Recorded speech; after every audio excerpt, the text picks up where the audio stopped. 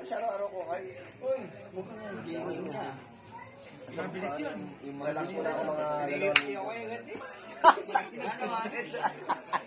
Ito malapad na to. Subukan mo kay betlog mo. Didikit talaga yan. Tapos low profile lang yung na mga. Tuliro na siya. Meron ka tayo sniper. Hindi. Ah. May lari. Alam mo to si Kuya, basketball player ko. Ano babayero yan. Player ng ano, babayero. Player. Ah, yung pala. Kumaniwala yan. Babayero yan. Tama ka po. Baka tama ka. Hindi. Subukan mo yan sa kayero. Pag ano, ikakukunin mo yan. Meron tayo. 350? Tan.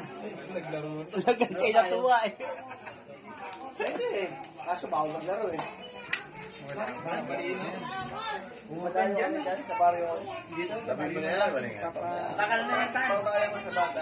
Oo mo sa bata. Ikaw, inaagaw mo muna yung bata. Nagmumukha ko parang na. Tama. Naglalaro yan si Kuya. Tingnan na tutulog sa kwarto na yan. Nakalaban na ako kaya na ako makakakal. Tan. Tama natin to. Ay, hindi no. Laro lang. Si ano yung magaling na point guard dito na